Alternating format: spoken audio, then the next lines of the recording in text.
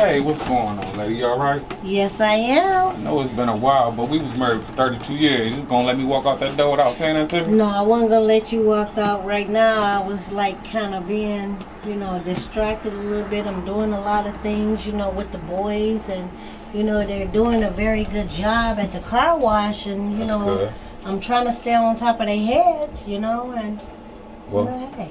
I just talked to Sebastian. He told me about the project he got going on, hmm and uh, he got that uh, $10,000 he got. I'm gonna need you to stay on his head when I'm not around. Well, you know, we do have responsible young men, and I'm quite sure all the payments will be made. Well, you know what? You're right. You got a point. Just stay on their head. I'm about to get out of here. I'll see you a little later.